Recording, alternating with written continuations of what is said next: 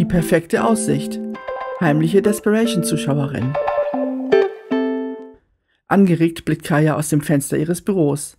Der Grund für ihr ungeteiltes Interesse ist der attraktive Unbekannte, der sich eine Etage über ihr aufhält. Dieser muss unübersehbar dringend pinkeln. Eine heiße Feststellung, die die Lust der jungen Frau emporschnellen und sie jeden Gedanken an Moral und Anstand vergessen lässt. Diese und noch viele lustvolle Geschichten mehr findest du frei zum Lesen auf unserer Homepage edition-aurum.de.